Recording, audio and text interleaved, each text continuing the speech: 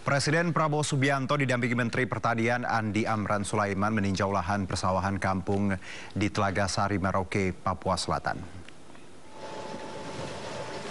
Pada kunjungan kerja Perdana Presiden RI Prabowo Subianto meninjau kesiapan lahan pertanian 1 juta hektar.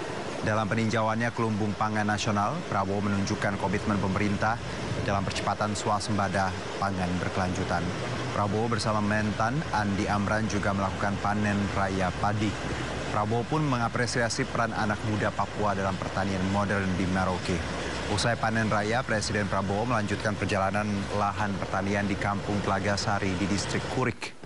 Di Kampung Telagasari, Presiden Prabowo juga bakal berinteraksi dengan masyarakat dan petani di sana. Dalam kunjungan ini, 1.430 personel gabungan dikerahkan untuk menjaga seluruh titik kunjungan Presiden.